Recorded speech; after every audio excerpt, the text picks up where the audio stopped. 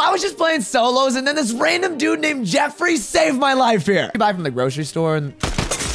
No! Chill, chill, chill.